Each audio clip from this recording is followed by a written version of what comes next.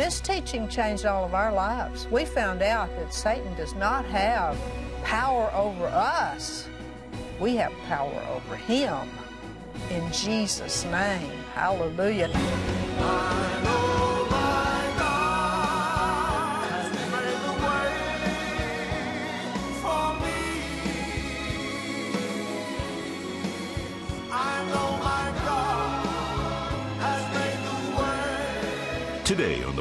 Voice of Victory, join Gloria Copeland and special guest Billye Brim as they conclude this week's series with a teaching on heaven. Hear a special testimony of what heaven is really like and how you can live in days of heaven on earth. Hello, everybody. I'm Gloria Copeland. Welcome to the Believer's Voice of Victory. Billye Brim from Prayer Mountain in the Ozarks is with us. Billye has been sharing some wonderful insights about the authority that we have in Jesus. That changed all of our lives Billye's, Ken's, mine, and many, many thousands of others. When we learned that we were not under Satan's thumb, he's under our authority. Under our can- feet. He's under our feet. We can tell him to get out. We can refuse to give him place, the scripture says, and he has to flee from us at the name of Jesus. And it's been really good. So if you've missed it, go back to the internet and listen to it because this teaching changed all of our lives. We found out that Satan does not have power over us, we have power over him. In Jesus' name. Hallelujah. And we needed that, didn't we, Oh, Billye? we needed. I like the way you said that. It made me think. You said, "He's not. We're not under his thumb. He's under our feet." That's right. That's exactly That's right. Because when in Ephesians, where it says that God raised Christ from the dead and seated him on his own right hand, and he put everything, all principality, power, might, and dominion under his feet. And when he raised him, he raised us. That's right. He gave him to be head over the body. And we needed it, He's the we? head. We're the body. The head and the body were raised together and seated together. And the feet are in the body.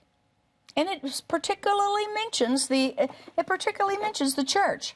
It says that when he raised him from the dead and set him on his own right hand in the heavenlies, he raised him far above all principality, power, and might and dominion and every name that is named, not only in this age and world, but also in that which is to come, and has put all things under his feet and gave him to be head over all things to the church, which is his body. His feet are in His his, body. feet are in the body, and when he raised the head, he raised the feet. Glory to He God. raised the head, he raised the body. And what's more, we've been living in that authority, taking authority over the devil for a lot of years, Yes. more than we want to tell you. but decades.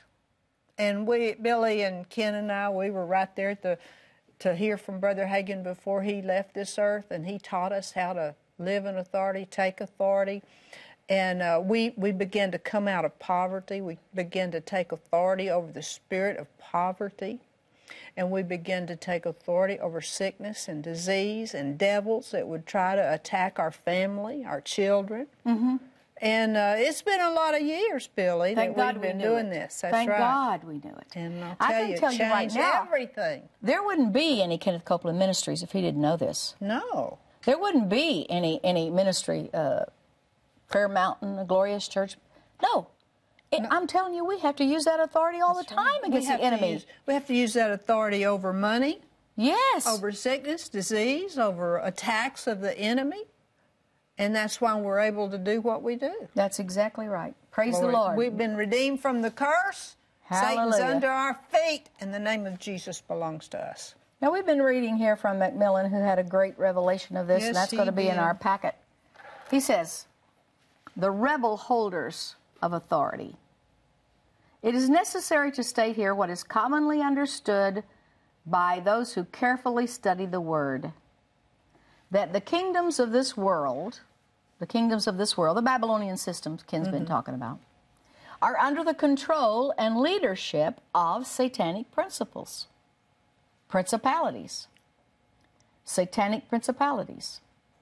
The great head of these is called in the Bible uh, the God of this world, the prince of the powers of the air, the prince of this world. Even when he tempted Jesus, he claimed that he had kingdoms to offer. And it was a real temptation. He had them. Although a rebel against the Most High, and now under judgment of dispossession, he is still at large.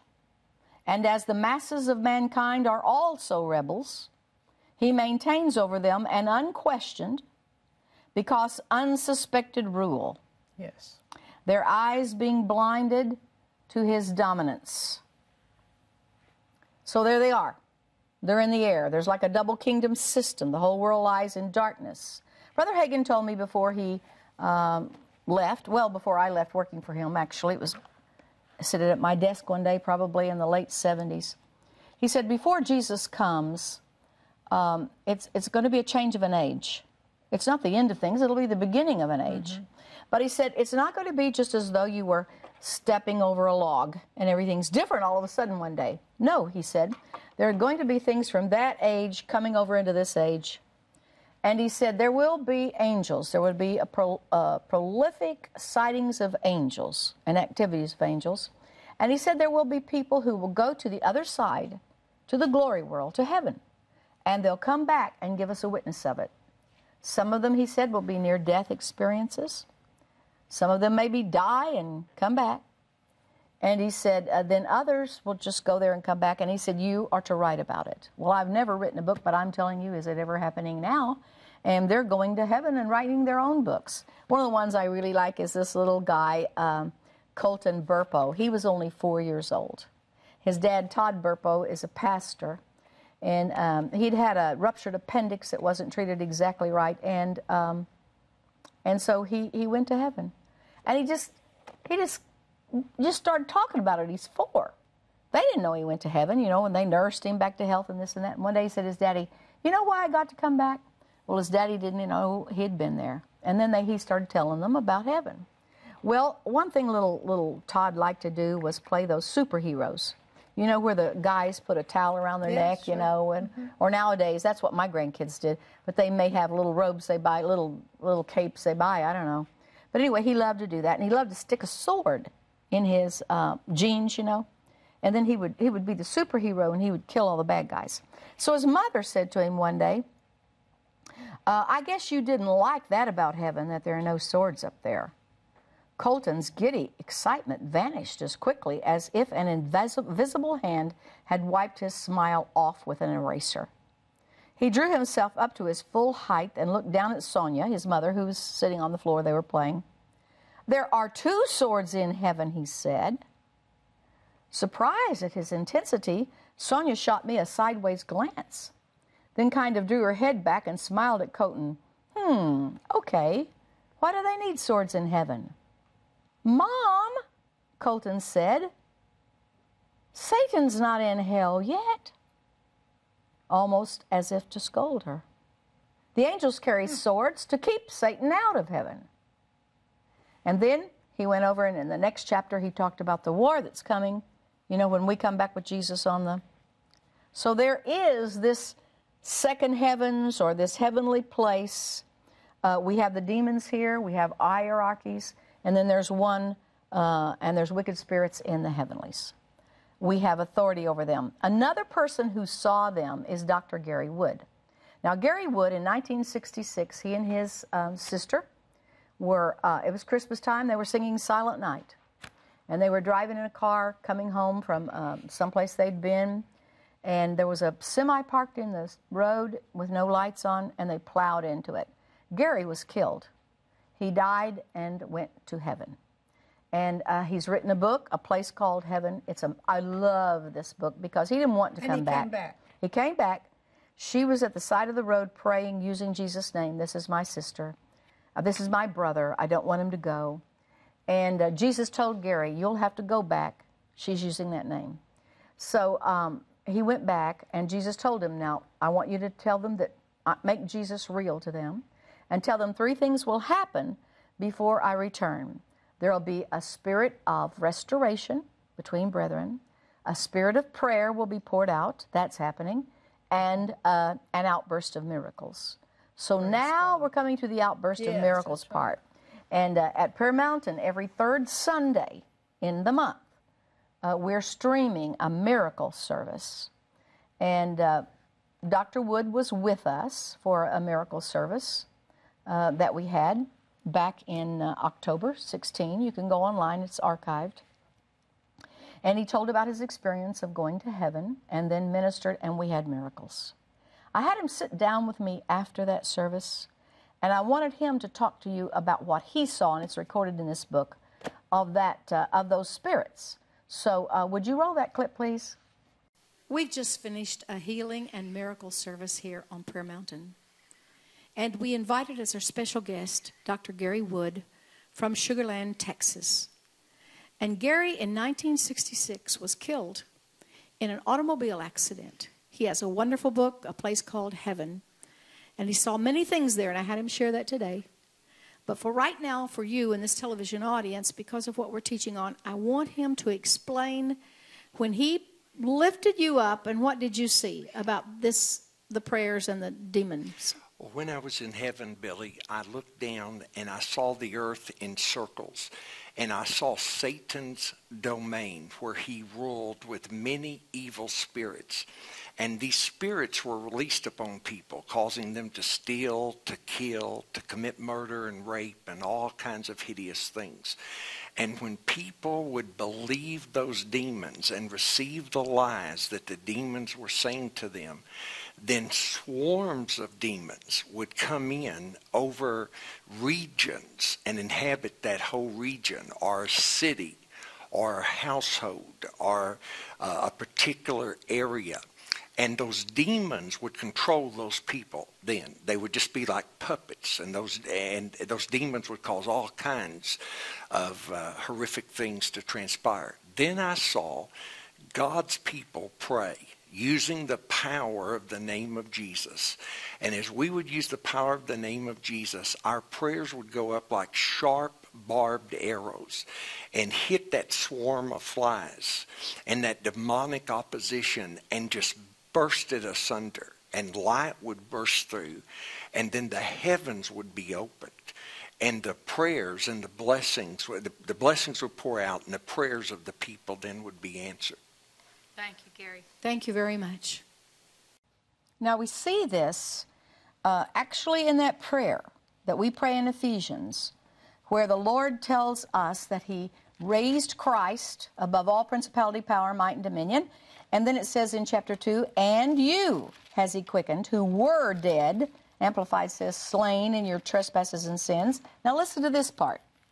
Wherein in time past you walked according to the course of this world, according to the prince of the authority of the air, the spirit that now works in the children of disobedience. That's what Gary was talking about. Hmm. Those powers of the air, those evil princes, they, they, they can send swarms and when people will yield to them, then they work in those children of disobedience, among whom we all had our lifestyle in times past in the lusts of our flesh, fulfilling the desires of the flesh and of the mind, and we were by nature the children of wrath, even as others. So this world, uh, those those demonic um, spirits in the heavenlies are attempting to rule down through men on the on the earth. And uh, Gary talked to me about certain cities and what demons were in control there. And uh, I don't want to mention them over the air, but um, bless the Lord. We have authority over them. We are seated. The Bible tells us that when He raised Jesus, when He raised the head, He raised the body, He quickened us. And he quickened us when he quickened Jesus. He raised us when he raised Jesus. He seated us when he seated Jesus. So we are in him positionally at his yeah. right hand. We and we share that throne with him. Now, uh, according now back to uh, Macmillan here, the seats of authority of those rebellious spiritual rulers are in the heavenlies. From there, they have dominated the, the human race since its fall. There's low level devils down here. They take their orders from higher up, guys. From there, they have dominated the human race since its fall. There they will remain until the divine purpose of the ages is complete. Now, how do you do it? How do you rule and reign? Well, I like this book because of page 27. When I give this book out to somebody, I say, read this book and do page 27. Here's page 27. Do we believe that God, quote, hath quickened us together with Christ, and hath raised us up together, and made us sit together in the heavenlies in Christ Jesus? If we do, our reaction to it will be a fervent, this is like a prayer you pray. Lord, I accept your gracious word. I believe that you have thus wrought for me. In humble faith, I do now take my seat in the heavenlies, in Christ Jesus, at your right hand. Teach me how to fulfill this sacred ministry, Yes, our ministry in the heavenlies. Teach me how to exercise the authority that you have entrusted to me. Train me day by day that I may attain to the full stature of the perfect man in Christ, so that in me your purpose of the ages may be fulfilled. Amen. Then he goes on. God. If we are walking in the Spirit, our normal life is in the heavenlies. That's what Colossians 3 1 right. says. To secure the consciousness of this, there must be the daily acceptance of the fact. Daily acceptance of the fact. Let us, morning by morning, as one of our first acts of worship, take our seat with Christ, as suggested in the previous paragraph, and thank God for all that it implies. Let us often remind ourselves that we are seated far above Far above. all the powers of the air, and that they are in subjection to us. As our faith learns to use the name and the authority of Jesus, we shall find the spiritual forces yielding obedience in ways that will surprise us as we continue to abide closely in Him. Our prayers for the advancement of the kingdom will become less and less the uttering of petitions and will increasingly manifest the exercise of a spiritual authority that recognizes no national boundaries but fearlessly binds the forces of darkness Amen. in any part of the world. Praise God. So, how do you do it?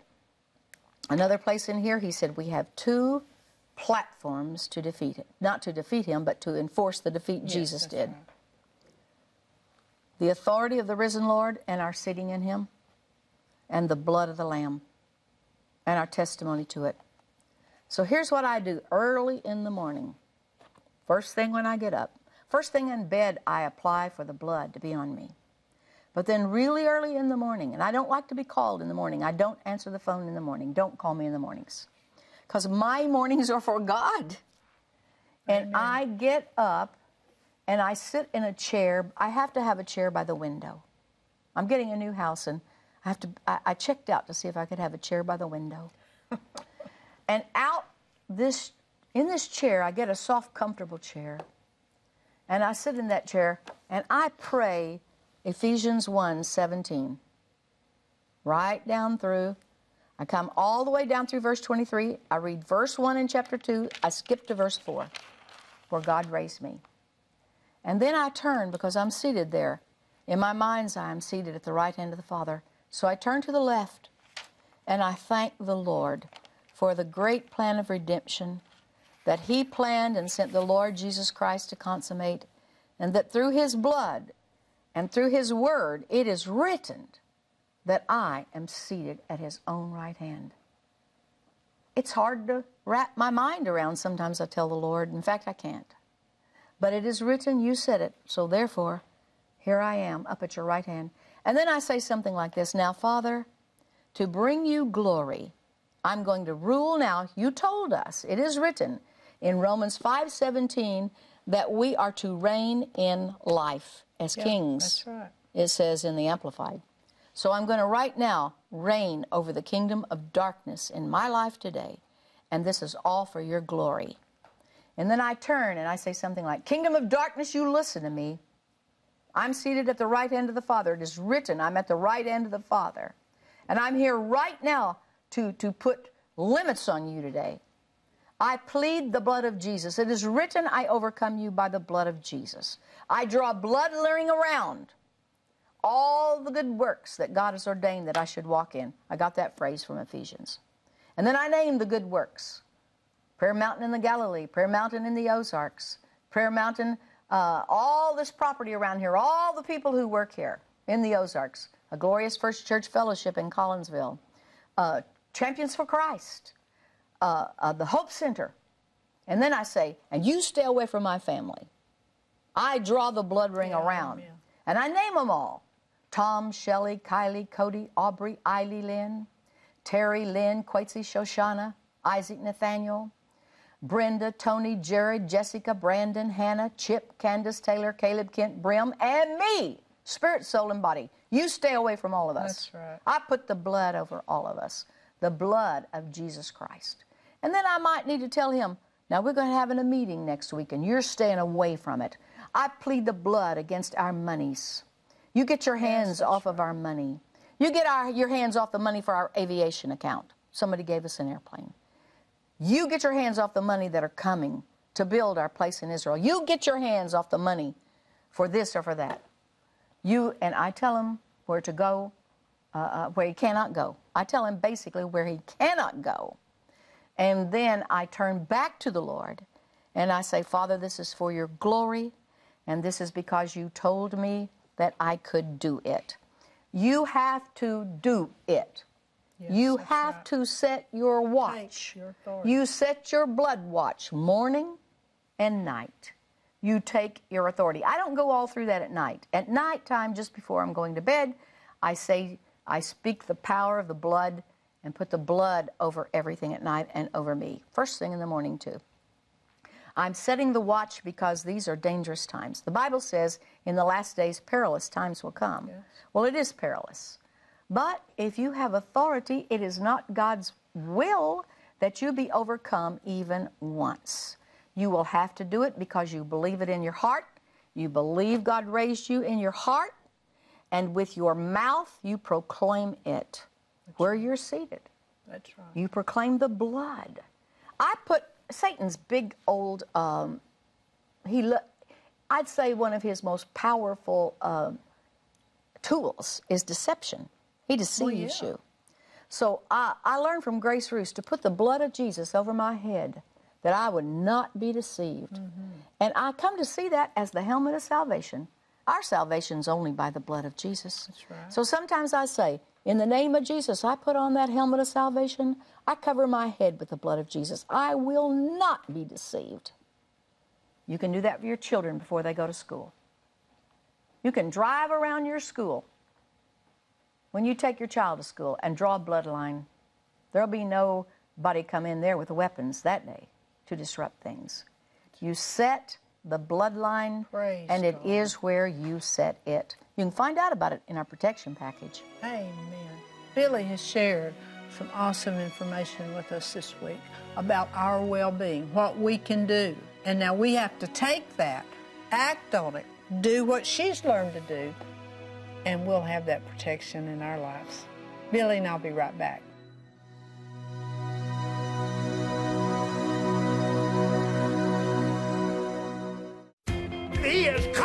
Us to be free and be blessed and walk in the power and the outpouring of that blessing. Come to a Kenneth Copeland Ministries event.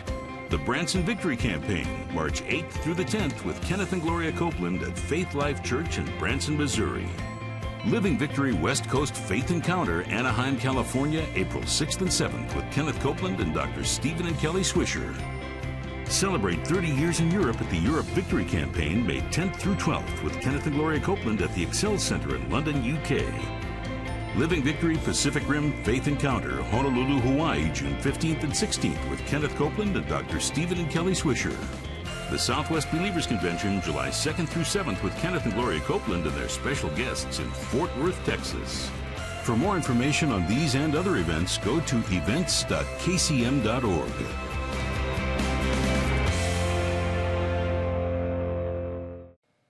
You know, Ken and I never learned how to increase financially until we learned how to take authority over money and command it to come to us in Jesus' name. We learned that. And, uh, and that's what you need to do. And you become sowers. We became sowers and we took authority and we spoke the return, the hundredfold return to come, and we still do that.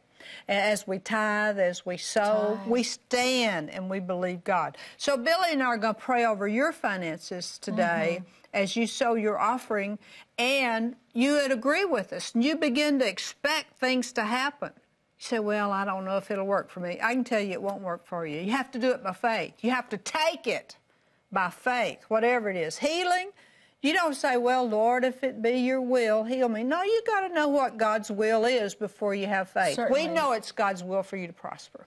Father, in the name of, Jesus, Jesus. Billye and I pray over every family Every represented in this audience. We believe with Satan, them, Father, for the hundredfold return to work in their lives every day. We thank you for blessing the tithers and increasing them in every way, revealing to all of us what to do as we sow our way into continual prosperity. We thank you for it. We pray for every family. We thank you for the healing anointing flowing right Lord. now, Thank you, Lord, Lord. into people as they watch. Be healed in the name of the Lord Jesus Jobs Christ. come. Jobs, the right jobs jobs. yes, amen. Billye and I agree with you for Yes, the perfect, perfect place. job. God's will for you right now. Yes. That you'll know and you'll hear and you'll receive that perfect Thank position in Jesus' In name. Jesus' name. So, Billye and I love you. We believe with you. Uh, we're glad you've joined us on these broadcasts, and if you've missed any, go back and hear it because it's vital information to your well being. Hallelujah. We'll see you again soon. Get in a good church that preaches the word and stay there. Listen and do what God says in His Word. Join Ken and me as we learn to have victory in Jesus. Hallelujah. Happy Glory. birthday again this Sunday. Thank you. You'll be one year older. I'll be one year older. Glory be to God. I'm growing up, folks. I'm growing up. Hallelujah. Billye and I have enjoyed being with you, visiting with you, and giving you the Word of God. We've enjoyed preaching to each other. Yes. It's been a great week. This is Gloria Copeland and Billye Brim reminding you that Jesus is Lord. Thanks for joining us on the Believer's Voice of Victory. For this week's broadcasts on DVD or CD, today's product offer, or for more information on KCM, visit kcm.org. Online, you'll find free ministry resources to help you live every day in faith. Receive God's promise that everything is going to be all right. Hello, everybody. We're Kenneth and Gloria Copeland. We're inviting you to join us for a very special series of broadcasts on New Testament partnership and the anointing of God. Please don't miss this. It is vital to our very well being in the times we're living in. Amen. You won't want to miss these special broadcasts.